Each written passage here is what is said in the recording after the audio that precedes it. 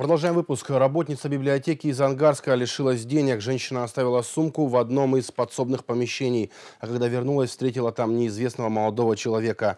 Чуть позже она обнаружила, что пропал кошелек, а вместе с ним и 12 тысяч рублей. Вскоре похитителя задержали. Им оказался ранее судимый местный житель. Свою вину он отрицать не стал и даже изъявил желание возместить ущерб. Возбуждено уголовное дело по статье «Грабеж».